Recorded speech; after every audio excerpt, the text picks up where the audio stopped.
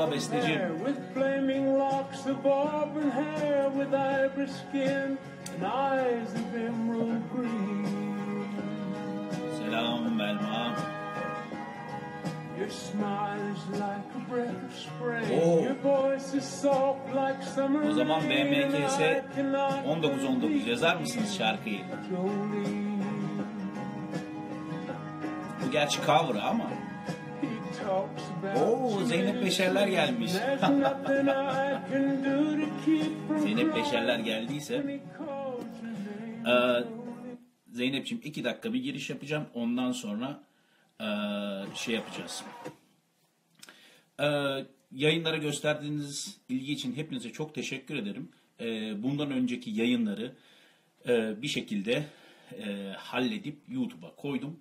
Ee, benim YouTube kanalımda izlerseniz ee, çok sevinirim. Ee, YouTube kanalına girerken de bir abone tuşu var. Onu da tıklarsınız. Ee, paralı pullu bir şey değil. Ne siz para vereceksiniz ne de bunun karşılığında ben para kazanacağım. yani aklında o soru işareti olanlar varsa e, onları da aydınlatmış olayım. E, sadece amme hizmeti yapıyoruz. E, insanlar geçmiş yayınları izlesinler diye. Bugün de çok iki tane şahane e, insanı evime misafir edeceğim. E, kısaca böyle ahvalimiz. E, şimdi ben Zeynep Beşerleri yayına alayım. Aa, elim... Evet Zeynep'ciğim hoş geldin. Emrah'cığım sen de hoş geldin. Sen neredesin evde? Ben evde benim en e, kapalı köşem olan küçük balkonumdayım. Aa, süper. Şimdi Zeynep'ciğim geçen yayını izlediysen Mehmet Ali ile şöyle bir şey yaptık. Önce gelene gidene merhaba diyoruz. Ondan sonra yorumları kapatıyoruz. Çünkü e, hem yayın donuyor e, hem de gözümüz takılıyor. Muhabbetten kopuyoruz. Sonra muhabbetimiz biraz ilerlettikten sonra e, buradaki arkadaşlara da duyurumuz olsun. E, bir 15 dakika açacağız. Soruları olan varsa onları cevaplayacağız. Sonra tekrar muhabbetimize devam edeceğiz. Tamamdır. O zaman Şimdilik yorumu kapatıyorum ve Ay- Yani- aç diyorum. Evet. Deaktive ettik. olun. Aa, Seni arkadaşım. İyiyim canım benim. Sen nasılsın? İyiyim ben de. Ne olsun? Bıraktığın gibi çok bir değişiklik yok. Bebiş nasıl? Ah, iyi çok şükür. Yani zor geçiyor bu günler ama iyiyiz. Hani evde delir, kudur. Yapabileceğimiz çok fazla bir şey olmadığı için hani sürekli atraksiyon halinde geçiyor işte. Ya işte biz de böyle nefes alalım diye işte dostlarla böyle e, misafircilik oynuyoruz. E, hem ben hasret gideriyorum e, hem de yayını izleyen insanlar e, biraz hani bu virüs davasından sıyrılıp biraz nefes alıyorlar. Onlara da nefes veriyorsak ne ala. Ne güzel. Ee, şimdi Dudu Dudu'yla yani böyle şey yok biliyorsun. Hani daha önceki yayınları da sen seyrettiğin için. Hani böyle soru cevap röportaj gibi falan filan bir şey yok ama e, bu duyuruları yaptığım zaman ister istemez insanlar şey soruyorlar işte. Abi Bir şey soracağım sana. Çok bulanık mı gözüküyorum? Ses mes her şey yerinde mi? ses iyi de görüntün çok bulanık. Hatta demin hala güzel falan dediler de ben çok inanmadım. Çünkü görmüyorum seni. İstersen bir çık gel. Dedim ama zaten çıktı galiba.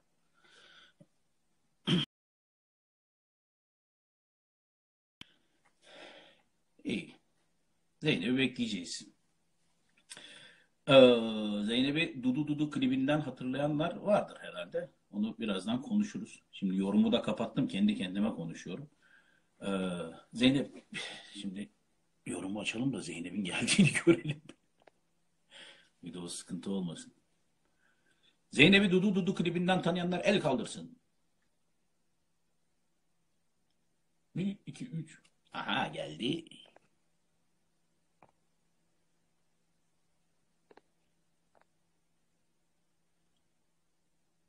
Oo, herkes tanıyormuş ya. Zeynep. Zeynep. Aa. Evet arkadaşlar Zeynep Beşerler'le bağlantı kurmaya çalışıyorum. Ee, Ya programa yayına katılmak Eyvah, için yayınsal atlandın. problem. Çok fena. Oldu mu? Güzel. Şu an şahanesin. Tam dudu dudusun şu an. Tamam. Çok şahane. O zaman ama kimse kıpırdamasın. Ha şeyi söylüyordum. Hani e, böyle işte gelişine muhabbet ediyoruz. Nereden nasıl gelirse diye. E, ama tabii bazen işte hani böyle duyuru yaptığımda e, böyle mesaj atanlar oluyor. İşte şunu da sorar mısın? Şunu da merak ediyoruz falan filan. Hani mümkün mertebe öyle olmaması için ama ben böyle laf arasında e, merak edilen şeyleri de sıkıştırabilirim. Sıkıştırırsın E, arkadaşım. Tamam ben o zaman sana ilk şeyi soracağım. Ben kendi merak ettiğim şeyi. Ee, Mehmet Ali ile de konuştuk bunu. İşte Mehmet Ali'ye şey demiştim. Ya bir tarafta Memoli var, bir tarafta işte hani Gezi'nin simgesi var. Hani böyle bir şey var. Ee, bu klibi kaç yılında çektiniz siz? 2003 yılında. 2003. Şimdi 2003 yılında muhtemelen Türkiye'de 20 milyon kadın falan senden nefret ediyordu. Ama kimse zaten Türk olduğumu bilmiyordu. Türk olduğuma inanmamışlar. Yani şöyle şeyler oluyordu. Kızın teki beni tuvalette gördü. Aynadan bakışıyoruz. Bana dedi ki ay Dudu'daki kıza çok benziyorsun. Kardeşim misin? Yok değilim. Ee, yani dedi. Dedim o benim. Yok ya değilsin sen. Yeme beni falan yaptı. O kız Türk değil diyorlar. O sen olamazsın falan. Bayağı bir süre kimse inanmadı. Hani birkaç röportaj, birkaç şeyden sonra ancak hayır ya gerçekten o benim aslında falan o zaman inandırabildik. Ama neticede e, yani Türk de olsa yani Türk de olduğunu zannetseler e, Türk olmasan da hani Türkiye'de bir 20 milyon e, kadın senden nefret ediyordu. Tarkan'a en yakın olduğun için. Dudu Doğru. Dudu. Doğru. E, mesela hani o da çok enteresandır değil mi? Hani he- muhtemelen binlerce kız arasından seçtiler seni. Aynen. Yani şöyle oldu. Yani benim dediler ki ajanstan aradılar. Tarkan'ın klibi varmış filan falan bir şeyler. Ne git görüşmeye. Ben dedim ki öf dedim. Ne gitmem, gitmem. dediler ki deli misin? Niye gitmiyorsun? Ay dedim yani bir önceki klibinde bir öncekinde de şey oynuyordu. Ee, Sinemis. O da çok güzel bir klipti. Evet. Sinemis oynuyordu. Dedim ki ya o sahne, o klipte öpüşme sahneleri falan falan. Ya bana gelmez öyle işler. Kliplerde, kliplerde yapamam ben gidemem dedim. Dediler ki ya bir git görüş ne olduğunu bilmiyoruz. Aa bir gittim. Bir kızlar, bir kızlar Yılan. göbek deliğine denk geliyor. Bak sen düşün. Boyları, postları, o güzel endamları yani yıkılıyor ortalık. Oturduğum yerden ajansı aradım tekrar. Dedim ki beni buraya niye yolladınız pardon. Öç almaya falan mı çalışıyorsunuz? Derdiniz ne benle? Dediler ki yok ya onlar seni çağırdı. İyi hadi bakalım filan. Neyse görüştük ettik filan. Klip iki gün sonra çekilecek. Çok acele iş. Ee, yarın haber geldi geldi öğlene kadar. Haber gelirse de hangi şarkı ne, ne değildir paylaşacağız. Bütün bilgileri sizinle paylaşıyor olacağız. Tamam. Kalktım ben sabah. Yok ya mümkün değil filan diyorum. Öğlen oldu.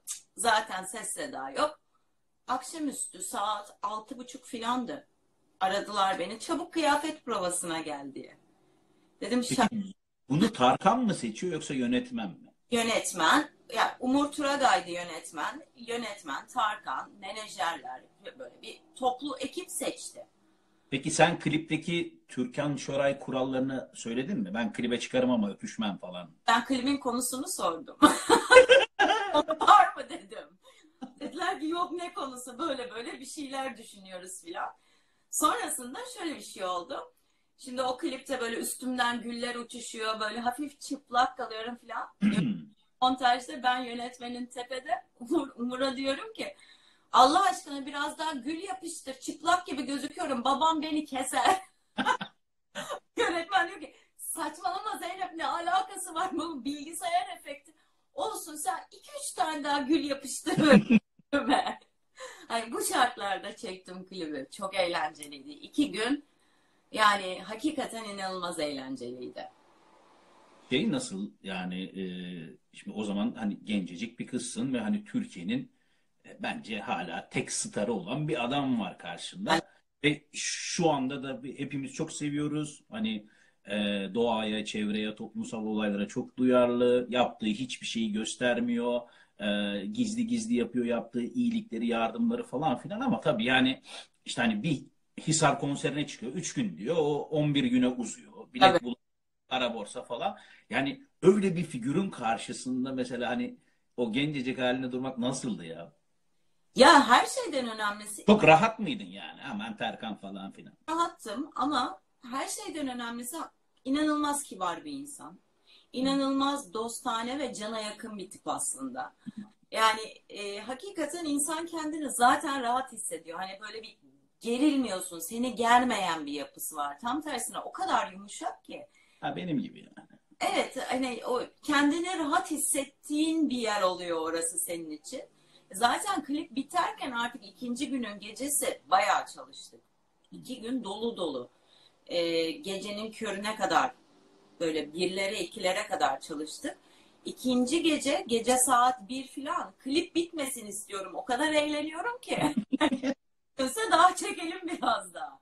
Yani öyle geçti vakit. O kadar keyifliydi benim için. Unutulmaz bir şey ya. İnanılmaz bir anda. İşte mesela hani o herkesin nefret ettiği kızdan şimdi herkesin çok sevdiği kıza dönüştün yani. Diyorsun. Bence öyle yani ben işte hani e, hani bizim piyasada biliyorsun hani birisi e, çok yaşa dese hani atıyorum Mardin'de çekim yapıyor çok yaşa e, şey pardon hapşursa biz İstanbul'dan çok yaşa diyoruz hani Evet. Haber o kadar çabuk yayılıyor ve hepimiz birbirimizden haberdarız ama ben hani sana dair kimseden kötü bir şey duymadım. Allah Ee, Yani ben, ben kendim biliyorum. O ayrı da e, hani bunu seyircilerden de duymuyorum. İşte zaten hani Twitter'da falan filan sosyal medyada da çok aktifsin. Zaten her sabah seninle buluşuyoruz Ünsal abinin programında. Sevgili Ünsal Ünlü'nün programında her sabah buluşuyoruz. Artık günlerim o kadar karıştı ki sabah kalkıp bakıyorum eğer yayın yoksa hafta sonu geldiğini anlıyorum. Yani gün kavramını yitirmeye başladım. Çünkü her gün birbirinin aynısı olduğu için gün kavramım gitti. Ama hani sabah bakıyorum yayın yok hafta sonu geldi diyorum. Öyle de etkisi var üzerimde yani. Bende de oluyor ya. Cumartesi olunca böyle bir boşluğa düşüyorsun. Sabah böyle hani buraya göre işte yedi buçukta telefon elimde falan hani bir şey vardı ya ne ne vardı diye. Hayat Bil- eksiklik varmış gibi hissediyorum. Tabii tabii. Bildirim. O da sağ olsun geldi. Ee, onunla da güzel bir muhabbet ettik. Ama işte onun da yine internetin azizliği e, o akşam yine Instagram herkes yüklendi falan. İşte yayının bir ilk 40 dakikası yok. Son 40 dakikasını kurtarabildik. Onu işte YouTube'a Çok keyifli bir programdı. Ben baştan sona kadar tabii ki seyrettim. Çok güzeldi. Ağzınıza sağlık. yani ustanın yanında ne yapacaksın? İşte bırakıyorsun, pas atıyorsun. O anlatsın istediği kadar ya. Ee, şeyi nasıl hmm, bu Yelken Melken hikayesi devam ediyor mu sende Devam. hala? Devam. Ha? Devam. Yani şöyle şu aralar zaten denizden uzak kaldığımız için de birazcık böyle bir kaşıntımız var, sıkıntımız var. Hani böyle bir e, birazcık denize özlem arttı. E, normalde devam tabii ki. Bir de biz böyle Mayıs sonu gibi normalde tekneye biniyoruz. Ekim sonu gibi iniyoruz. Bakalım bu sene nasıl olacak onu merak ediyoruz. Hani ne zaman gideriz, bu iş ne olacak, bu koronaydı, oydu, buydu hani nasıl gidecek ondan habersiziz. O yüzden böyle bir özlemle gün sayıyoruz açıkçası. Ya ben Bodrum'da sana çok şaşırmıştım. Burada itiraf edeyim. Bu Famous Cup'a çağırıyorlar diye bizi. İki sene zaten orada beraberdik. Evet. Gerçi şimdi o kadar famous olmadığım için çağırmıyorlar beni. Of saçma artık Famous Cup yapılmıyor ondan çağırmıyorlar seni. Maalesef. Şimdi oraya gittik yani biz de bilmiyoruz işte hani her tekneye birisini verecekler. Biz de dedik yani ucundan hani ipi çekeriz falan filan. Zaten çok zor bir şeymiş yani o yelkenliyle gitmek orada. Sen böyle bu eldivenleri falan filan taktın baya böyle bir Zeyna gibi Tom Raider gibi takılıyorsun yani. Hatta ne, Nejat'a demiştim ben. E, Nejat dedim bu ne yapıyor? O dedim, dedim, bu yelkenci sen bilmiyor. Dedim bilmiyordum vallahi yani. Baya Zeyna gibi takılıyordun yani. Biz Evet. pas ile teknenin arkasında bira içiyoruz böyle falan böyle. Yok ya yani iyi iyi gidiyor. Ya, seviyorum abi ben denizde olmak Güzel. acayip bir özgürlük. İnanılmaz keyifli bir şey. Yani e, oğlan bile düşünsene iki aylık yok iki ne iki aylık 40 günlüktü tekneye bindiğinde ilk iki aylıkken üç aylıkken indi. Şu anda hala daha tekne evin içinde sürekli tekne oyunları oynanıyor. palamar çağırıyor. Tekneyi oraya bağladın mı? Bağlamadın mı? Bir tane puf bulmuş üstünde kendini çektiriyor. Teknedeyim diye. Hani böyle oyunlarımız var evde. Hmm. Bir tane telsizi var habire telsizden palamar lazım diye bağırıyor evin içinde. Hani çok Şimdi kaç yaşında oldu ki? Üç buçuğu geçti dörde geliyor. Geleceğin yelkencisi geliyor diyorsun. yani. Vallahi ya çok sıkılacak, nefret edecek böyle bir hayat yaşamaktan. Hani hiç bir daha yanından geçmeyecek ya da gerçekten tutkuyla babası gibi o da bağlanacak ama bilmiyorum yani. Hani ne olacağını ben de bilmiyorum. Belki eniştesinden hani bir şey kaparsa. Ha, böyle tıngır tıngır arka marka falan. Aralarda gidiyorlar birlikte piyano çalıyorlar mi? Tabii eniştesi sağ olsun ona. İşte en son şey piyano Enişte kim ya? Ben merak ediyorum. Eniştesi e, Birol'cum, eniştem Birol Namoğlu. Gripin'in solistidir kendisi. Aa öyle mi? O da meşhur bir insan. Aa. İnsan kendisi. E, severek, hayranlıkla dinliyoruz. Eniştemiz ayrı yerdedir. Öyle yani eniştesiyle çok iyi takılıyorlar. Ee, ben şimdi şey çocuğu olan e, dostlara işte abileri, ablaları soruyorum. Sana da onu sorayım da. Bunu gerçekten merak ediyorum da. Ee, işte geçen Acerakis'le de konuştuğumuzda Hı. e, yani tabii ki onlar hani özel gereksinimi olan çocukları var vesaire e, şey. E, ama bir sürü insandan artık şeyi duymaya başladım. Hani çocuklarla zaten e, baş edemiyoruz, durmuyorlar falan. İşte hava güzel dışarı çıkmak istiyorlar falan filan. E, siz evde bu sorunu nasıl hallediyorsunuz? Belki yani dinleyenlere, izleyenlere bir... Valla çoğunlukla halledemiyoruz. Yani dışarı çıkmak istiyor. Daha bugün kalkmış hava bence çok kötü değil. Çıkalım bir dolaşalım falan diyordu. Dedik ki hava çok yağmurlu, soğuk çıkamayız. Zaten işte dışarıda virüs var falan. Ee, salonun ortasında koca bir trambolin duruyor. Yani ben niye buradayım? Yani tek doğru düzgün alan burası. Hani olmadık şey yok. Salon bir oyun bahçesi, ortasında koca bir trambolin. Ee, koridorlar ve her yerde deli gibi futbol oynanıyor. Oyal yani her türlü oyalamak için elimizden gelen her şeyi yapıyoruz. İşte değişik değişik oyunlar türetiyoruz. Banyoya sokuyoruz, suyla oynatıyoruz, mutfakta yemek yaptırıyoruz. Elimizden ne geliyorsa. Ama tabii ki bu yaş çocuklara hani her şeyi çok net anlatamıyorsun. Her şey birazcık daha karışık. Çok net anlatmaman gerekiyor, korkmaman gerekiyor.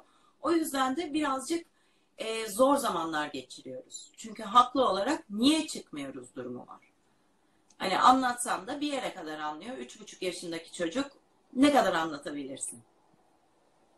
Yani kolaylıklar diliyorum size. Teşekkür ederiz ama sürekli çıkıyoruz.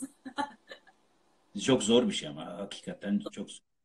Ee, şimdi gelen böyle e, yani özellikle bir oyuncuyu hani konuk e, ettiğim zaman e, Instagram'dan ya da işte diğer sosyal medya hesaplarından sürekli işte abi ben de oyuncu olmak istiyorum nasıl oyuncu olabilirim oyuncu olmak istiyorum nasıl oyuncu olabilirim vesaire gibi yani bu zaten yıllardır bitmedi Var, evet var.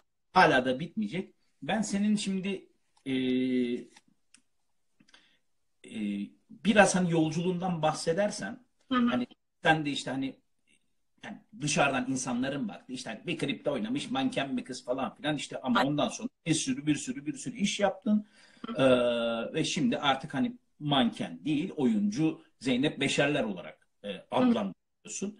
Ee, mesela hani o süreci e, yani nasıl yaşadın? Ne- neler neler yaptın yani kendini geliştirmek eğitmek babında belki insanlara bir şey olabilir. Yani şöyle e, ben e, liseyi bitirdikten sonra Fransız dili edebiyatı okumaya başladım. O sırada çalışmaya başladım. Yalan söyleme yarım bıraktın onu sen. Okumaya başladım dedim. Bitirdim demedim ki. Onu söyle yani şimdi Fransız edebiyatı falan deyince Üçte üçte kaldı o. E, sonrasında çalışmaya başladıktan sonra bir şekilde e, bir gece kulübünde gecenin yıldızı gibi bir şey seçildim. Garip bir olay. Ondan sonra Sinan Çetin bana dedi ki bir tane reklam filmi var oynar mısın? Bu arada Hı. parantez içinde şunu söylemek istiyorum. Ben hiç hayatımda mankenlik yapmadım. Hep bana bunu söylüyorlar. Hep bilinen ya. Ben hiç profesyonel mankenlik yapmadım. Hani podyuma tabii çıktım ettim ama profesyonel olarak hiç mankenlik yapmadım.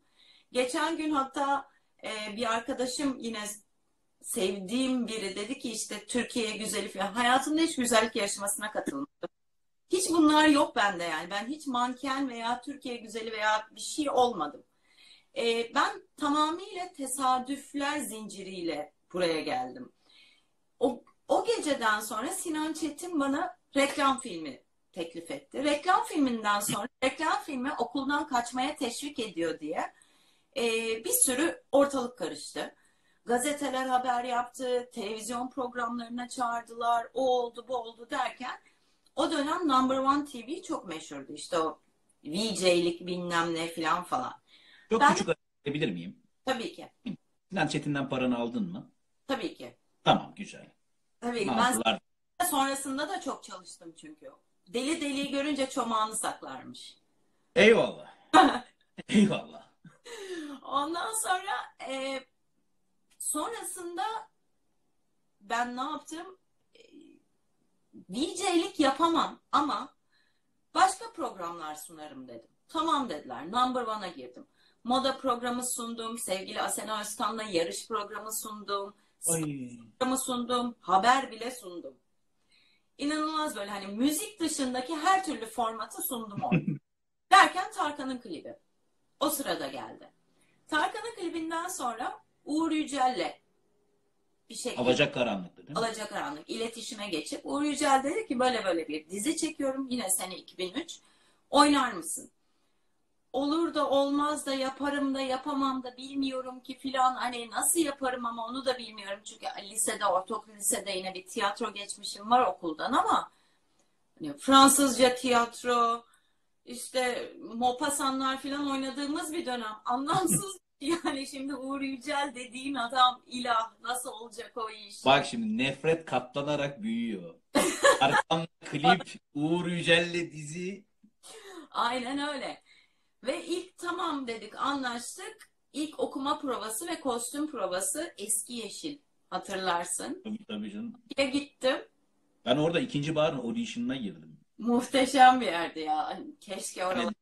Eğlenmeye gidiyorduk eski Yeşil'e de e, ikinci baharı işte çekecekleri zaman e, audition'a girmiştim orada. Bir de Uğur abiyle karşılıklı oynadık biz. Oo. Böyle 40 dakika falan sürmüştü. Neyse sonu iyi olmadı. Yani Uğur abi beni seçmişti. Yavuz Turgul da e, Ozan'ı seçti. Yoksa hani Ozan'ın rolünü ben oynuyordum. Vay. Var var böyle. Benim de Yavuz Turgul'la böyle bir hikayem var. Güzel hikayeler. Sonrasında da kapıya geldim dedim ki benim ne işim var burada ya? Kapıyı çalıp içeri girmem gerekiyor. Çok dedim ben yapamayacağım galiba. Dönüyorum. Kapıyı arkama döndüm. Kapı açıldı. Hoş geldin diye. Dedim dönemiyorsunuz hele. İçeri girdim. Giriş o giriş. Ondan sonra devamı bu zamana kadar geldi işte. 2003, 2020. Ya şimdi bir 5 dakika falan yorumlar açalım diyorum ama şimdi korkuyorum işte. Zeynep abla arka sokaklara dönecek misin falan Tabii. filan. Var değil mi? Arka sokakları. Hazır mısın? Hazırım. Tamam Hazır. hadi 5 dakika yorum açalım. Sorular varsa cevaplayalım birlikte. Cevaplayalım. Hadi bakalım. Şu an. Aa bizim Tuğba Kavlakoğlu böyle gülen kalpler yapmış. Tuğba'yı gördüm. Tabii tabii. Bizim setimizin şahane fotoğrafçısı. Evet ya. O adam kim? Ha, Ben- çok Anda. bir arkadaşmış. Evet sonunda açtık yorumlar. Hadi bakalım. Da. evet Hanım orada. Tuğba'cığım biz de seni öpüyoruz. Merhaba Evet. Bey. Arapçan varsa orada bir şey mi sordular? Yok. Bilmiyorum. Yok. O yok. Evet, tahmin. Evet. Yeni Evet. proje Jerome seni de öpüyorum. Yeni proje henüz yok. Bekliyoruz. İnşallah olur. Ha bu arada o çok soruluyor. Yeni proje yok mu yeni? Oyunculuğu bırakmadım. Oyunculuğu bırakmış değilim. Yani o çok yanlış bir algı. Sadece Beklenen soru geldi. Arka sokaklara dönecek misiniz? Sağ ol Kemal'cim. anıları olur anlatırız. Ee, Emre Çıkara'dan seni de gördüm. çok güzelmişsiniz. Ay, çok teşekkür ederim. O Azerbaycan'a selamlar. Zeynep Hanım çok elit bir insansınız diyorlar. Teşekkür ederim çok mersi. Samimi ve içten bir sohbet. Ee, teşekkür ederim. İzmir sıcaklığını evimizde hissediyoruz. Hmm. Güzel. Çok güzel. Arka ka- sokaklara dönüş var mı? Nar demiş. Annem öpüyorum seni de. Ceyduş'um. Ceyda İtalya'da. O İtalya'daki karantinadan katıldı yayınımıza. Zeynep Hanım siz arka sokaklardaki melek değil misiniz? Evet, o benim. Hadi ekranlara dön Zeynon. Oğluşunla reklam filmi de olur. Sen yeter ki dön. İş- Arkadaşlar evde kal diyorlar. Şu anda dönme ihtimali yok. Şu an evdeyim. Ama bak biz geçenlerde de konuştuk yani bu evde kal deyip böyle elinde senaryoyla bir poz versen güzel olmaz mı? Çok tatlı olur ya. Yar- Yarın da setten halay çekerek bir po- Öf. koysam şey olmaz mı? Hep birlikte ekibi toplamış. Yani ne işler ne işler yani. Ama var ya ben hani bu sosyal medyadaki tavrını da çok takdir ediyorum yani. Teşekkür ederim. Yani Takdir insandan birisi ne geliyorsa başıma ondan geldi zaten. Beni bir dizide izleyebilecek misiniz? Bilmiyorum, zannetmiyorum. Hani, hani bu korona var hem de e, çok da beni tercih etmezler diye düşünüyorum yani. Evet aşk ve ceza ile başladı. Aşkımız güzel. Evet biz de Zeynep'le Aşk ve Ceza'da oynadık. Şimdi aşk ve cezayla öyle bir arkadaşlığımız oldu. Çok da Hmm, güzel bir soru. Aile yaşantınız oyunculuğun önüne geçti mi diyorlar. illaki geçmiştir. Çocuk olduktan sonra çocuk her şeyin önünde. Onun önünde olmayan hiçbir şey yok. En önde çocuk var. Onun arkasında sırayla geliyor artık hepsi. Ama tabii ki yani oyunculuk çok ayrı bir şey benim için de. Hepimiz için de. Hani bu kökenden gelmesem de işim bu. Ee, inşallah iyi bir projeyle denk gelen bir kanalda tekrar buluşuruz. Ee, Zeynep abla özelden konuşalım demişler. Sen onu halledersin. Emre abi Türkiye. Ben dizide oynarım da hani e, ben de dört gözle bekliyorum. Böyle hani ufak ufak böyle teklifler geliyor hani konuk oyuncu olur musun 3-4 bölüm onları kabul etmiyorum. Ee, onun dışında iyi bir şey olursa tabii ki ben de e, Türkiye'de dizilerde oynarım. Aa, aynı işte tekrar denk geliriz be Emrah'ım ya. Aa, ben çok isterim Zeynep'ciğim. Vallahi ben de. Evet şimdilik yorumları kapatıp e, tekrar muhabbetimize dönüyoruz. E, siz de sorularınızı hazırlayın arkadaşlar. Deaktivite ettik. Peki kardeşin ne yani sen daha şimdi daha tecrübelisin. Şimdi kardeşin de oyunculuk yapmaya başladı. Evet. Yapıyor. Mesela hani onunla nasıl tiyolar veriyorsun? Nasıl anlaşıyorsunuz? Valla çok iyi anlaşıyoruz. Onunla çok zaten hani çok ayrı bir şeyimiz var. Ee, diyalogumuz var. Çünkü biz yani ben İstanbul'a geldim. 5 sene sonra o geldi ve biz birlikte burada 10 küsür sene aynı evde yaşadık. Ee, çok zor, aynı zamanda çok eğlenceli, çok böyle çılgın zamanlardı. Hani evin içinde birbirimize küsüp 3 ay konuşmamışlığımız var filan.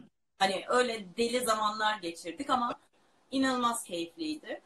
Ee, onunla olan o ilişkim bambaşka olduğu için o her şeyde bana sağ olsun sorar, fikrimi sorar, fikir alışverişinde hep bulunuruz. Ben de ona sorarım bu arada. Hani ona yeni bir rol geldiğinde mutlaka üstünde konuşuruz. Bir şey olduğu zaman bir senaryoda bir işin içinden çıkamadığında çok iyi yerlerden ders alıyor bu arada. Hani hem ders alıyor kendini geliştirmek için inanılmaz Onun asıl eğitimi ne? nasıl Onun sinema, asıl sinema televizyon okudu o. Radyo Aa. televizyon okudu o. Nereden? Yeditepe. Aa, yetti.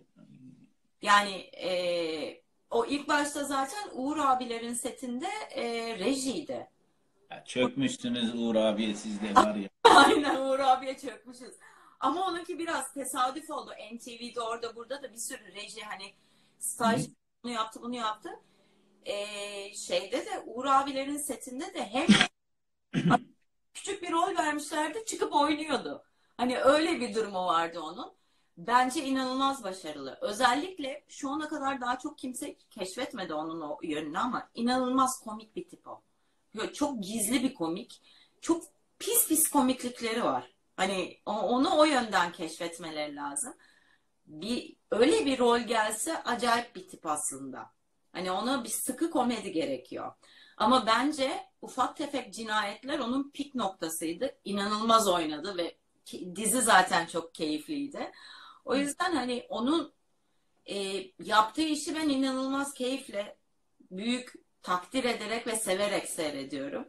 Ve çok da mutlu oluyorum onu öyle görmekten. Ay canım ne güzel bir ablasın sen. O, o benim tatlışım yani. O ilk göz ağrısı. Kerem'den önceki çocuk o. E, şey tiyatro ile ilgili de işte geçenlerde yine e, işte Ayşenil'le konuşuyoruz, Rehabi'yle konuşuyoruz. Ee, yani böyle işte yeri geldiği zaman da işte hani tiyatronun sorunları vesaire gibi. Ee, şimdi tiyatroda bu son dönemlerde şey moda oldu ya hani televizyonda çok böyle meşhur olan, ünlü olan bir figürü hemen bir tiyatro oyununa koyuyorlar ve e, işte hani tiyatroya seyirci gelsin, gişe kazansın falan diye. Sana böyle bir teklif geldi mi? Ya da hani sen mesela böyle bir şey karşısında ne düşünürsün? Şöyle ben eskiden beri tiyatroyu çok istiyordum. Ne oldu be? Öyle diye girdin yani. Eskiden beri tiyatroyu çok istiyordum zaten ve bu konuda hani çalıştık ettik bayağı bir uğraştım da aslında. Bizim sevgili Uğur Yağcıoğlu'nu tanır mısın bilmiyorum. Ya Uğur- arkadaş, hep Uğurlardan mıydı? Nedir ya? Evet evet. Uğur'un yazdığı çok iyi tiyatro oyunları vardır. İrfan Kangı, Dost Elver filan. Acayip. Biz epey uzun bir süre Ebru Karanfilci dördümüz bir oyun üstünde bayağı provalar yaptık. Hani sahne üstünde filan. Sonra o oldu bu oldu derken oyunu sahneleyemedik. Ama Çünkü Tarkan'dan klip teklifi geldi falan. Yok çok daha yok sonrasında.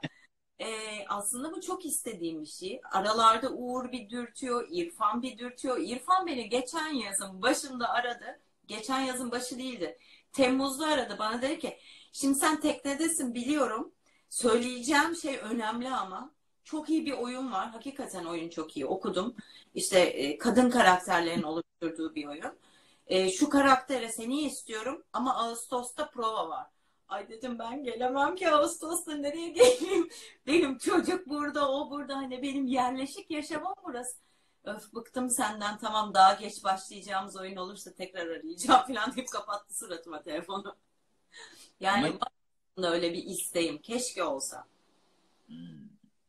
Ama Uğur adında bir yönetmen arıyor senden. Yok. Uğurlar denk geldi. Ee, neydi o? U- Uğurkan Erez'di değil mi? Modacı.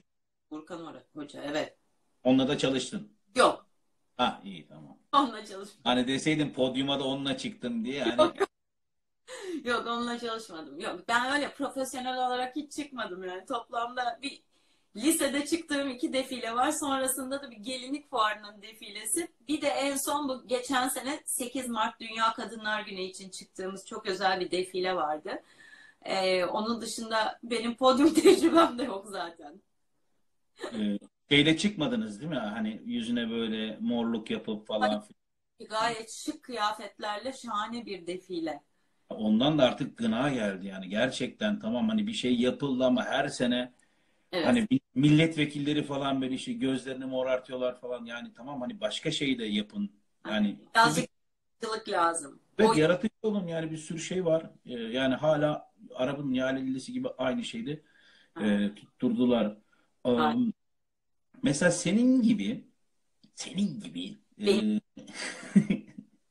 çok hani ünlü yani ünlü bir figür mesela hani magazin dünyasının da böyle hani uyuzunu kaşıyan Hı hı.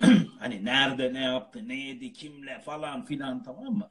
Mesela sen yıllardır buna yani gerçekten böyle bir Serena Williams edasıyla gelişine böyle backhand voley yapıyorsun. Böyle bir kesme yapıyorsun falan filan. Hiç o şeylere bulaşmıyorsun. Aha. Ee, hani onu nasıl becerebiliyorsun? Yani ben de belki ünlü olursam bu taktikleri uygulamak istiyorum. Şöyle aslında bir şey becermiyorum. Ben oradaki insanları seviyorum. Herkes işini yapıyor. Hı hı. Ben- Saygı duyuyorum. Onlar onlara saygı duyduğumu bildikleri için onlar da bana saygı duyuyorlar. Aslında bütün şey bu. Niye Sinan Çetin de deli deli görünce sopasını saklıyordu da magazincilere gelince anlaşıyorsunuz? Ben Çetin bir deli. Ona kimse hayır değil diyemez yani. O bir deli.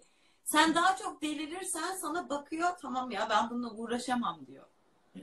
Hani magazinci, benim çok arkadaşım var magazinci. Hı hı. Magazin muhabiri olan, e, bu işin içinde olan ve ben onların gerçekten yaptıkları işe saygı duyuyorum. Çünkü onların işi bu. Hani adam seni bir yerde yakaladıysa çeker abi. Adamın işi bu. Sen ona saldıramazsın. Yakalanma ya da yapma. Hani sen iyi anlaştın ve anladığın için onlar da seni provoke etmiyorlar mı? Aynen. Yani onlar da bana kimse yapmıyor. Çünkü ben de onlara diyorum ki ya karda kışta dışarıdaki camdan beni çekerlerken ben kalkıp diyorum ki arkadaşlar beklemeyin çıkmamı. Hadi yapın röportajınızı gidin buradan. Hmm. Çünkü hani insanlar çünkü senin o yemeği bitirip oradan kalkıp seni kapıda üç kelime etmeni bekliyor insanlar. Ve bu çok zor bir iş. O yüzden ben onları anlıyorum. Onlar da beni anlıyorlar. Sağ olsunlar. Hepsinin gerçekten hiçbirinin hakkını yiyemem. Çok zor bir iş yapıyorlar. Sarhoşuyla, delisiyle, saldıranıyla, onunla bununla bir sürü insanla uğraşıyorlar sonuçta. Şimdi sosyal medyada da sen böyle hani eee, böyle hani çok cevval çıkışlarım var. Eee, hani yanlış Babam korkuyor onlardan. Evet evet. Şimdi dışarıdaki insanla empati kurup hani işte bunlar oyuncu tayfası bilmem ne işte bu kız da zaten işte hani sen demin gerçi açıkladın. Yani işte Türkiye güzeli, manken falan filan böyle şeyler yazıyor. Bunun altına mutlaka e, hani bu tür yorumları yapıp sana e, bir şekilde rencide etmeye çalışan ya da işte mat etmeye çalışan tipler vardı. Yani şöyle insanlar seni anlıyor. Çoğu insan anlıyor. Hı. Ama anlamayıp senin canını yakmak isteyen kötü niyetli o kadar çok insan türedi ki etrafımızda. Sırf kendi mutsuzluğundan dolayı senin de mutsuz olmanı isteyen o kadar çok insan var ki. Yaşa. Bir yere kadar sabrediyorsun, bir yere kadar alttan alıyorsun, bir yere kadar normal bir şekilde konuşuyorsun. Bir yerden sonra iş şeye dönüyor. Ya senin beynin, beyin yerine de sana posa koymuşlar kardeş yani. Hani iş ona dönüyor. Hani o posayla bir yere kadar yaşayabilirsin sen de. Anladın mı? Yani tam ağzını açtığında bildiğin lağım akıtıyorsun çünkü. Hadi git buradan filan oluyorsun. Ben eskiden biraz böyle ulan hani konuşsak böyle yontar mıyız falan filan diyordum. Konuşmayı deniyorum. Kimse Ben de ondan sonra önce bir alttan alıp hani bak ama hani bu değil yaptığın şey de yanlış filan diyorum. Hala devam ediyorsa ben de dal dalıyorum. Yo ben artık şey yapmıyorum ya böyle cebelleşmiyorum. Direkt bloğu çakıyorum yani. Yo ben önce cebelleşiyorum hala anlamıyorsa direkt blokluyorum o zaman. Yani, yani şey olmuyor ya. Çok enteresan enteresan yerlerden saldırıyorlar. Çok garip garip garip şeyleri var. Hani nereden aklına geliyor? Bu kadar zaman sonra nereden oraya geri dönüyor? Hayırdır ya? Yani o yemeyip içmeyip bunları mı aklında tuttun? Ve hayata dair hiç mi başka bir kafanda biriktirecek bir şeyin yoktu? Sıfır. Bu Frida şeyi nereden görüyor? Arkada Frida görüyorum galiba. Evet. Daft Punk'uyla Frida. Frida ile ilgili bizde bir şeyler paylaşabilir misin? Ben de orada Frida'nın filmini getireyim. Bugünkü insanlara Frida'yı konuşalım biraz. Frida ile ilgili ne paylaşayım sana? Ne bileyim işte bir şey söyle. 5 dakika vakit. Frida ile ilgili paylaş dedi ama ne paylaşayım bilmiyorum. Gerçekten değişik kaşları vardı. Şahane bir kadınmış gerçekten. Hani e, diyecek çok bir şey yok. E, Hera Müzesi'nde inanılmaz güzel bir kon- e, konser ne ya? Kafam Frida'nın konseri. Yapanın Frida ile ilgili e, ne kadar şey bilmediğinizi buradan öğren. Frida'nın konserine geldi olay. Konserine gelmiş. Güzel bir e, şeyi vardı. Sergisi vardı. Ona gitmiştim. Hakikaten hayran kaldım. E, inanılmaz bir kadınmış. Çok acı çekmiş. Ne diyeyim? Ah canım. Ne diyeyim? Paylaş o sırada. Ee, yok yok ben şey orada gördüm de hani işte yayınlarda böyle hani tavsiyelerde falan filan buluyoruz ya. Onu görünce e, Frida'nın filmini hani bizi dinleyenlere izleyenlere tavsiye edelim. E, herhalde Selma Hayek'in hayatında yaptığı tek film diyebiliriz yani buna. Evet, katılıyorum. Zaten hayatını da vakfetmiş. Yani kadro da çok acayip. Yani Jeff- e, Jeffrey Rush var, Edward Norton, e, Alfred Molina. Bir de hani yönetmen de işte e, bir kadın. E, Sonra yani film beni çok böyle e, etkiledi ama böyle çok böyle aman aman böyle aklımda kalan hani dönüp dönüp dolaşayım falan diyen bir şey yoktu. Sonra biz e, eşimle bir kere daha seyrederken e, kamera arkalarını falan seyretmeye başladık. Hmm. Yapım aşamasını falan. Çok büyük saygı duymaya başladım filme. Sonra bir kere daha seyrettik yani. Dur ben bir kere daha seyrettim böyle söyleyince. Kamera arkalarını falan seyretmedim çünkü ben. Ya çok enteresan. Hani gerçekten de hani ne kadar çok şeyi kaçırmışız ya da ne kadar çok şeyi bağlayamamışız. Bazen böyle hani sürmenaj durumumuz oluyor ya. Çok tanıdığımız, bildiğimiz figürlerin filmini seyrettiğimiz zaman şey oluyor. Mesela ben Oliver Stone'un mesela Doors'unu seyrettiğimde eee, çok sevmedim. Yani çünkü orada Jim Morrison'ın hani sadece işte uyuşturucu düşkünü ve işte kadına düşkün bir adam olarak ama adamın e, bir şair tarafı var, bir, hani bir felsefik bir tarafı var ve mesela filmde hiç bundan dem vurmamışlardı. E, o yüzden böyle şey oluyorum yani biraz böyle irite oluyorum böyle filmlerde. Ama Frida'da mesela e, yani ilk seyrettiğimde evet güzel tamam işte Frida ile ilgili bir film yapmışlar dedim ama gerçekten kamera arkalarından sonra e, çok büyük saygı duyuyorsunuz. Yani özellikle Selma Hayek yani o Frida'yı oynayabilmek için neler neler yapmış yani. Anlatamam. Dur ben Yani, Valla mutlaka hani kamera arkalarını önce bir seyret. Ondan sonra şey yaparsın.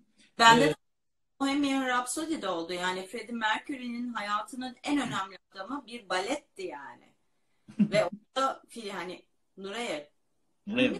Nureyev.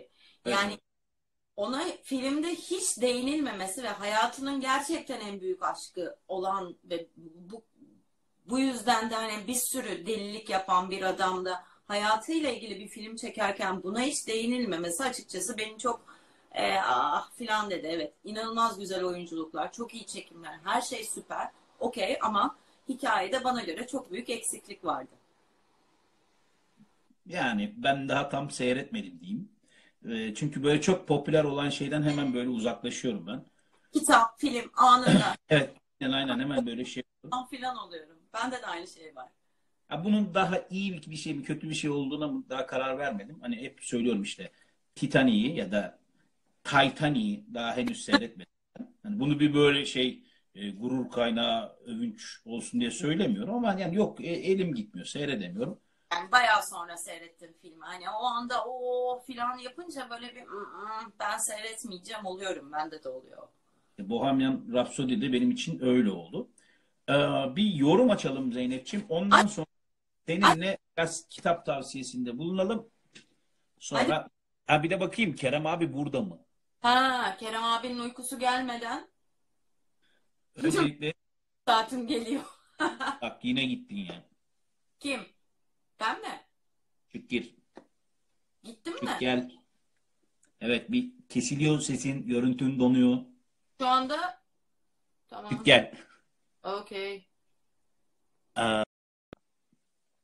Zeynep'i tekrar yayın alacağız. Ee, bu arada yayınla ilgili feedback verirseniz nasıl gidiyor? Eğleniyor musunuz? Hoşunuza gidiyor mu? Onun dışında Kerem Atabeyoğlu burada mı? Kerem abicim el sallar mısın bize? Bu arada ben herhangi bir akış görmüyorum. Yayın akıyor mu kızlar? Hı? Geriden akıyormuş. Ee, yine Instagram'da mı sorun var? Ben de kapatıp tekrar yayını açıyorum arkadaşlar.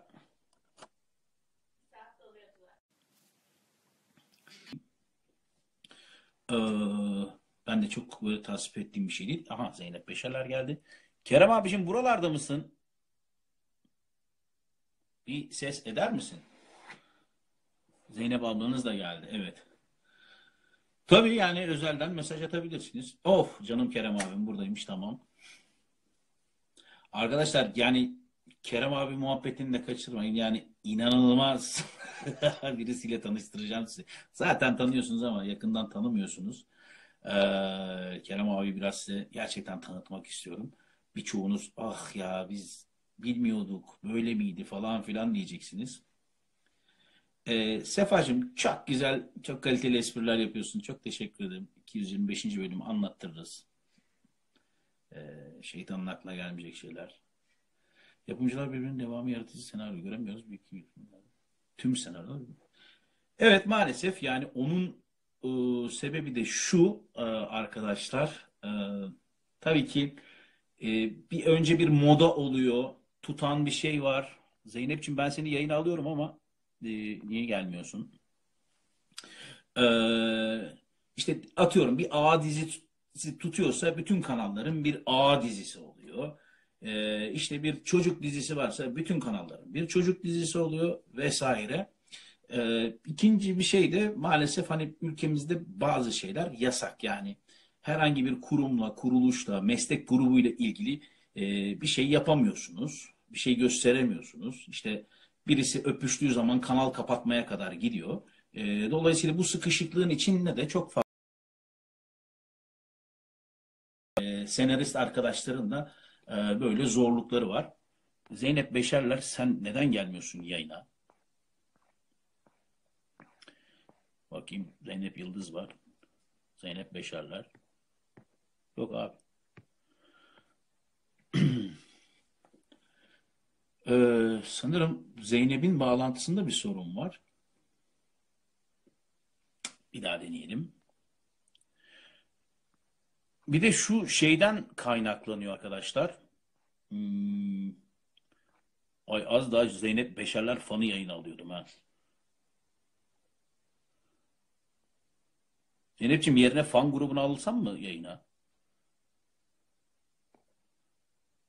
Evet bakalım. Yani. Bu sefer halledeceğiz inşallah. Ee, hah geldi. Çatladım burada bir türlü bağlanamıyor, bağlanamıyor. Sinirim. Ka- Kablolu kablosuz bütün yayınları denedim burada. Ya biz artık böyle slogan şey yaptık ya işte kalp Aa, yayın donuyor şeklinde. Ee, yorumlar açınca böyle oluyor. Ya bir de bunun sebebi şu. Tamam eyvallah hani e, Instagram zaten böyle yakalanacağını tahmin etmiyordu bir kere. Hani bu kadar canlı yayın olacağını işte virüsü falan filan. Muhtemelen altyapıları çok böyle e, yetersiz. Onu da geliştirmeye çalışıyorlar. Bence Evet. bizim altyapılar da çok yeter. Evet. Ya bir de herkes artık canlı yayın açıyor. Yani ben tamam yani yapılsın da ya şimdi iki arkadaşı da mesela oturmuş çıt çıt çıt çıt Mehmet geldi. Ya Aynen. bu ne? Bunun için niye canlı yayın açıyorsun? WhatsApp'tan konuşun arkadaş. Bir sürü başka uygulama var. İşte Zoom var, işte Viber var, Skype var. Yani bir canlı yayın açıyorsanız burada e, hani bir şeye yarasın. Yani yaptığınız bir üretimi görelim ya da aldığınız bir konuyu görelim falan filan. İki arkadaş şöyle Tam benim ekranımda da bir sürü canlı yayın gördüm ben de. ben Muhtemelen- gördüm işte. O yüzden bir de şey oldu. Prime time diye bir şey var işte bu 21 22'de herkes yapıştırıyor canlı yayını. Ondan sonra e, ayıkla pirincin taşını. E, soruları görebildin mi? Hiçbir şey göremiyorum burada. Tamam. Arka sokaklara nasıl katıldığını sordular. Benim aklımda kalanlar var. E, evet umarım bugünler gider. Teklif geldi. Ben de kabul ettim. Ya ben küçükken hep FBI ajanı olmak istiyordum. FBI'ye katılamayınca yolum arka sokaklara düştü. Hayatım boyunca hep polisiyeyle ilgili bir sıkıntım var benim. Sürekli polisiye romanları okurum. Gece uyumadan önce mutlaka polisiye dizi izlerim. Hani böyle vurdu kırdı ateş mateş görmeyince uyku tutmuyor. Ee, küçükken de yani küçükken dediğim lisedeyken falan sürekli herkese beni FBI'ye alırlar mı? Nasıl girerim acaba falan diye dolandığım için hiçbirini yapamadım arka sokaklara girdim. İyi ki de hayatımın en güzel üç senesini Evet. geçirdim. Bir Şey, çocuğun çıtası bu kadar mı yüksek olur ya? Hani önce karakolda işe başla, ondan sonra bir falan filan. Direkt FBI nedir ya? Yani FBI'ye girmek istiyordum. Kuzenim o sırada iki kuzenim de Amerika'da yaşıyor. Kuzenlerimden sürekli soruyorum. Beni FBI'ye alırlar mı sence? Nasıl giriliyor FBI'ye? Alırlar mı? Hayatta almazlar. Uğraşma boşuna falan diyorlardı. E öyle olunca lan FBI olmuyorsa eğer ya tamam çıtayı düşün. Oyuncu, oyuncuysan her şey olursun ya. FBI olurum yani. Tutmayın beni. Yarın var ya takvim seninle ilgili haber yapacak. Her- Vallahi FBI diye. hayaller FBI, gerçekler Rıza Baba falan diye. Aynen öyle gerçekten. Tam takvim haberi olur o. Ama evet yani- Eda'cığım e, biz Aşk ve Ceza'da tanıştık e, Zeynep'le. Yani daha iyi tanıştık. Evet. Türk izleyici e, hocam size Türk seyircisinin Netflix'e yönelmesi hakkında ne düşünüyorsunuz? Neden oradaki yapımlarla yabancı olmamıza rağmen deli gibi izliyoruz diyorlar. Bana- Soru soru. Yani ikimize diyorlar ama sen cevapla. Sence neden? Yani Netflix tabii ki izlemesi çok daha kolay. Birincisi kısa sürelerde çok güzel diziler seyredebiliyorsun. Ay Evet. şeyi söylüyorlar. Yani oradaki konulara vesaire çok yabancı olmamıza rağmen neden orayı daha fazla izliyoruz? E, Seyredebilitesi daha kolay çünkü. Daha kolay seyrediyorsun. İstediğin yerde dondurup içeride işini yapıp geri gelip seyretmeye devam ediyorsun. Yani bir diziye televizyondaki gibi iki buçuk saat kitlenmek zorunda kalmıyorsun. Hani seyrettiğin zaman o bölümü seyredip öbür bölüme geçebiliyorsun. İki bölümü arka arka. Bir Türk dizisinin iki bölümünü arka arkaya seyredersen aklını üşütürsün. Kafanda huniyle gezersin. Yani e, tabii ki yabancı konular, farklı konular seyrediyorsun. Çekimler şahane. İnsan gibi çalışan ekiplerden mutlu suratlar, temiz suratlar görüyoruz. Doğası var mı yani? Hani adam 20 saat çalışıp da gözlerinin altı buraya kadar morarmamış. insani şekilde sana işte 3 ayda 10 bölüm çekmiş vermiş. Daha ne olsun? Valla ben çok şükür hani 45 dakikalık dönemlerde de e, dizi çektim. O setlerde de çalıştım. Birazdan Kerem abiyle konuşuruz bunları. Evet Kerem abiyle konuşun lütfen bunları.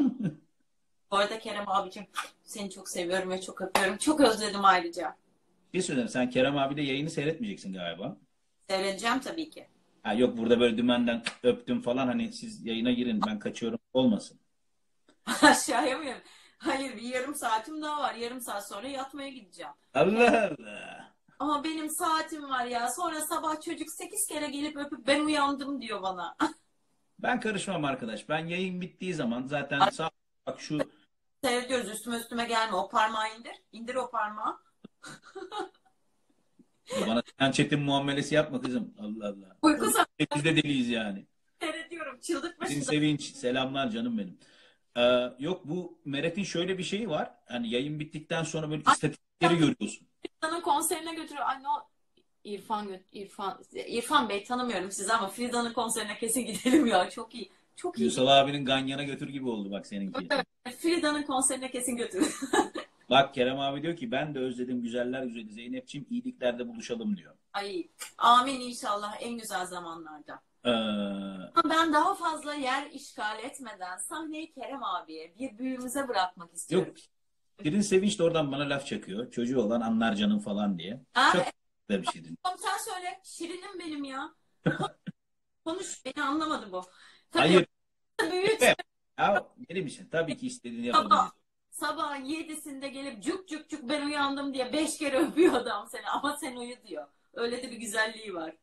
Bu Meret'in de şöyle güzelliği var onu söylüyordum. Ee, yayın bittiği zaman bakıyorsun böyle istatistikler var işte. 16 bin kişi yayına katılmış, kaç kişi sabit kalmış falan filan. Kim girmiş, kim çıkmış, kim var. Onların hepsini ben zaten not ediyorum. Benim burada kara kaplı var. Seni bu akşamlık e, çocuğuna bağışlıyorum. Bir şey demiyorum. E, sen hemen çıkmak mı istiyorsun yoksa şöyle iki tane seçeneğim var. Bir filmlerden konuşalım, bir kitaplardan konuşalım. Ama Ya Kerem abi bekliyor. Saat kaç oldu? ben ki iyi tamam sen bilirsin canım Allah Allah. Ya Alırım Kerem abi ne var? büyüğümüzü niye bekletiyorsun orada? Bir büyüğümüz bekliyor Emrah'cığım. Kerem abiyle biz çok uzun konuşacağız. Yani Evet, ben siz bekliyorum sizin. Vaktiniz var. Tahmin ettiğim için gidiyorum zaten. Bir, daha, iyi tamam. bir dahaki görüşmemize inşallah. Çok çok tamam.